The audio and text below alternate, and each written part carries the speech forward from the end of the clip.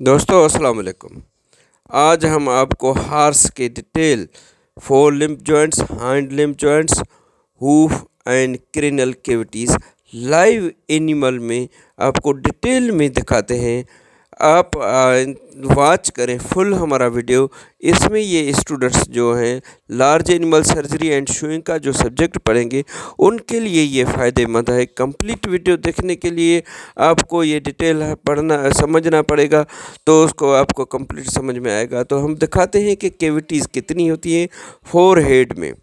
Three cavities होती हैं four head में। एक होता है क्रेनल केविटी ये नॉस नेज़ल केविटी दूसरा है ओरल केविटी ओरल केविटी में टीथ होते हैं, उसमें क्या क्या काम होता है नेक्स्ट वीडियो में दिखाएँगे।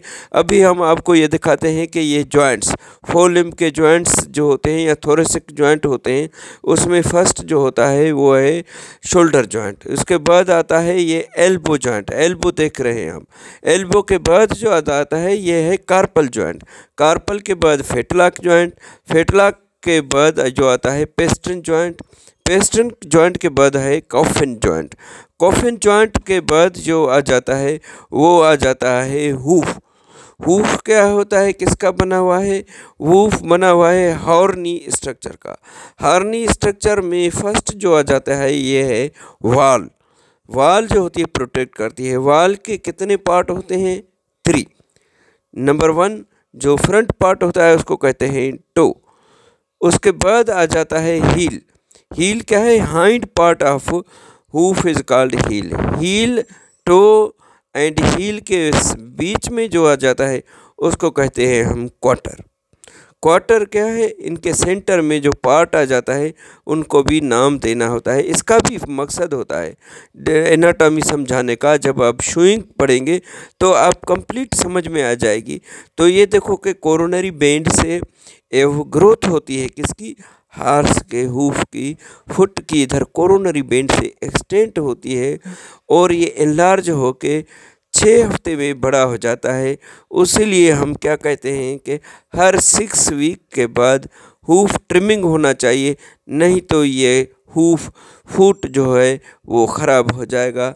उसको कहते हैं अनसाउंड उसी से, उसी सिलसिले से के लिए हमने ये प्रोग्राम बनाया है कि आपको हम लाइव एनिमल की एनाटॉमिकल स्ट्रक्चर बताएँ फोर लिम के जॉइंट्स बता रहे हैं हम आपको कि आपको स्टडी के लिए आसानी होगी। अभी हम आपको बताते हैं कि हाइंड लिम में कौन से जॉइंट हैं क्या क्या नाम है। हाइंड लिम में ये जो जॉइंट है, इधर होता है हिप जॉइंट हिप जॉइंट के बाद जो आ जाता है, ये जो है, ये है स्टाइफिल जॉइंट। इस तो स्टाइफिल जॉइंट के बाद ये जो कनेक्ट बोन होते हैं तो कुछ ना कुछ उसकी एंगल बनती है। एंगल के बाद दूसरा जो जॉइंट आ जाता है, स्टाइफिल जॉइंट के बाद, वो, जो लोअर लिम में होता है, जो वो होता है हाक जॉइंट। हाक जॉइंट का क्या मकसद होता है? और स्टाइफल जॉइंट का क्या मकसद होता है? इसमें क्या क्या प्रॉब्लम होते हैं? हर एक जॉइंट में प्रॉब्लम भी होते हैं डिज़ीज़ भी होती है।